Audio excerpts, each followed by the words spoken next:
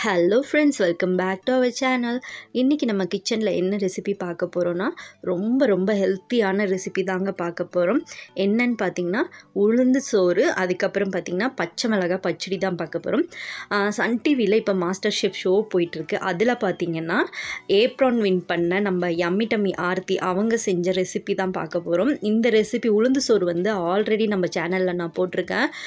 ரொம்பவே ஹெல்த்து ரொம்பவே டேஸ்டியாக இருக்கும். அதே டைமில் சீக்கிரமாகவும் செஞ்சிடலாம். இது வந்து கேர்ள்ஸ்க்கு வந்து லேடிஸ்க்கு அப்புறம் ஏஜ் அட்டன் பண்ண குழந்தைங்களுக்கு நார்மலாகவே கேர்ள் பேபிக்கு வந்து இது வந்து ரொம்பவே நல்லது. அட்லீஸ்ட் வீக்லி ஒன்ஸாவது நம்ம இதை வந்து கொடுக்கணும். ஸோ இந்த ரெசிபி தான் இன்றைக்கி நான் உங்ககிட்ட ஷேர் பண்ண போகிறேன் எப்படின்ட்டு வாங்க வீடியோக்குள்ளே போகலாம்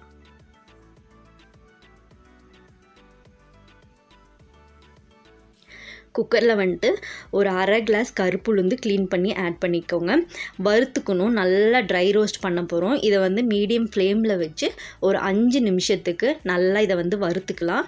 அது வறுத்து வரும்போதே ஸ்மெல் அவ்வளோ சூப்பராக இருக்கும்.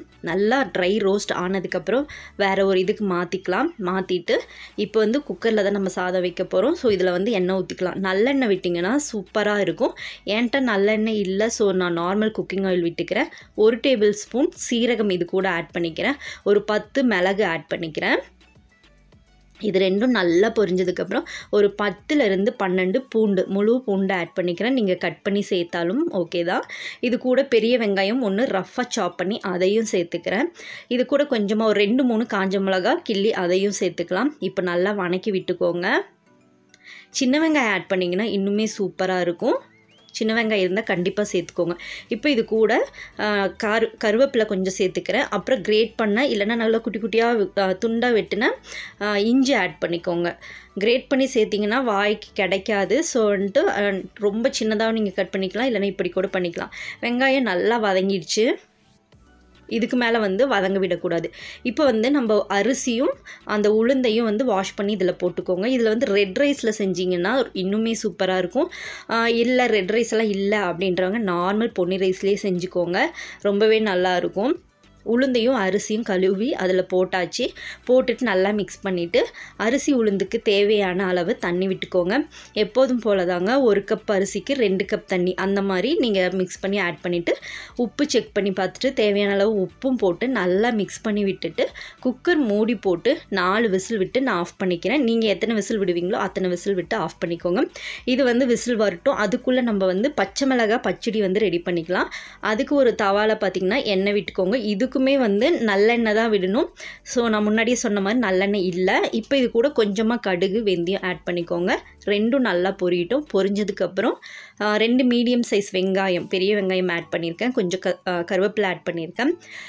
இஞ்சி. இது கூடயும் வந்து ஒரு கால் துண்டு இஞ்சி நல்லா பொடியாக நறுக்கி ஆட் பண்ணியிருக்கேன். இதுக்குமே சின்ன வெங்காயம் தான் ஆட் பண்ணணும். சின்ன வெங்காயம் ஆட் பண்ணிங்கன்னா ரொம்பவே டேஸ்ட்டாக இருக்கும். சின்ன வெங்காயம் இல்லை அப்படின்னா நீங்கள் பெரிய வெங்காயம் ஆட் பண்ணிக்கோங்க. இப்போ வந்து எல்லாத்தையும் சேர்த்து நல்லா இது வந்து வதங்கட்டும். அது வதங்கிறதுக்கு கொஞ்சமாக உப்பு ஆட் பண்ணிக்கோங்க. இது வந்து கோல்டன் ப்ரௌன் வெங்காயம் ஆக வேணாம். வெங்காயம் நல்லா சாஃப்டானால் போதும். இப்போ இது நல்லா வதங்கினது ஒரு பத்து பச்சை மிளகாங்க சின்ன பச்சை மிளகான்றதுனால பத்து போட்டு நல்லா பெருசாக இருந்தால் ஒரு ஏழு எட்டு போட்டுக்கோங்க.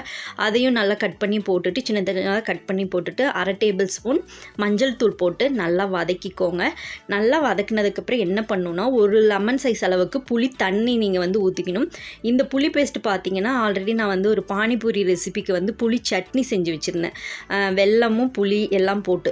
ஸோ ஸோ வந்துட்டு அதை வந்து இருந்ததுனால அது நான் ஆட் பண்ணிக்கிட்டேன். ஆட் பண்ணிவிட்டு ஒரு கிளாஸ் தண்ணி விட்டு தேவையான அளவு உப்பு போட்டு நல்லா கொதிக்க வச்சுக்க போகிறோம் தேவைன்னா இன்னும் கொஞ்சம் தண்ணி விட்டுக்கோங்க. ஏன்னா பச்சை மிளகாவும் வெங்காயமும் நமக்கு நல்லா வேகணும். ஸோ அதனால தான் மூடி போட்டு இப்போ நல்லா அது வேகட்டும். நல்லா வெந்ததுக்கப்புறம் நான் காட்டுறேன். இந்த ரெசிப்பியில் பார்த்தீங்கன்னா வெல்லமும் புளியும் போடணும். ஸோ நான் அந்த புளி பேஸ்ட்டில் ஆல்ரெடி வெல்லம் புளி போட்டிருக்கேன். உங்களுக்கு தெரியலன்னா நம்மளோட பானிபூரியோட ஃபுல் ரெசிப்பியில் இருக்கும். நான் அதோட ஃபுல் ரெசிபி வந்து நான் கீழே கொடுக்குறேன். என்ன நீங்கள் செக் பண்ணி பார்த்துக்கோங்க. இல்லைனா நீங்கள் நான் முன்னாடி சொன்ன மாதிரி புளியை நல்லா கரைச்சி ஊற்றிட்டு அப்புறம் ஒரு துண்டு வெல்லம் கூட நீங்கள் சேர்த்துக்கலாம். பாருங்கள் இது நல்லா கொதித்து தண்ணியெல்லாம் வற்றி இந்த மாதிரி திக்கானதுக்கப்புறம் கரண்டி வச்சு அந்த பச்சை மிளகாலாம் நல்லா உடச்சி விடணும். நல்லா கொல கொலன்னு ஆகணும். அப்போ தான் வந்து இந்த பச்சடி ரொம்பவே டேஸ்ட்டாக இருக்குங்க. அவ்வளோதான் பச்சை மிளகாய் பச்சடி ரெடி ஆயிடுச்சு இது ரெடி ஆகிறதுக்குள்ளேயே பார்த்தீங்கன்னா நம்ம உளுந்து சோறும் வந்து விசில் வந்து விசிலும் அடங்கிருச்சு. இப்போ ஓப்பன் பண்ணி பார்க்கலாம். பாருங்கள் சூப்பராக வந்து நல்லா பார்க்கும்போதே சூப்பராக இருக்குது அதே மாதிரி மனம் பார்த்திங்கன்னா அப்படி ஒரு டேஸ்ட்டுங்க. இதுக்கு தொட்டுக்க எதுவுமே வேண்டாம் என்ன கேட்டால் அவ்வளோ டேஸ்ட்டாக இருந்தது. கண்டிப்பாக வந்து நீங்கள் ட்ரை பண்ணி பாருங்கள் பாருங்கள் அரிசி வந்து ஒட்டாமல் சூப்பராக இருக்குது ஆனால் இது ரொம்ப கொஞ்சம் கொல கொலன்னு இருந்தாலும் இந்த சாப்பாடு உளுந்து சோறு நல்லா தான் இருக்கும். ஓகே இதை நான் வந்து நல்லா பிளேட் பண்ணிவிட்டு உங்களுக்கு காட்டுறேன். பாருங்கள் சூப்பராக ஒரு பிளேட்டில் வந்து அவங்க மாஸ்டர் ஷெஃப்பில் வந்து ஷோவில் எப்படி வந்து பிளேட் பண்ணியிருந்தாங்களோ அந்த மாதிரி நம்மளும் பண்ணியிருக்கோம். ஸோ வந்துட்டு சாப்பாடு வச்சாச்சு. மேலே வந்து பச்சை மிளகாய் பச்சடியும் வச்சாச்சு. சூப்பராக இருந்தது ரொம்பவே டேஸ்ட்டாக இருந்தது.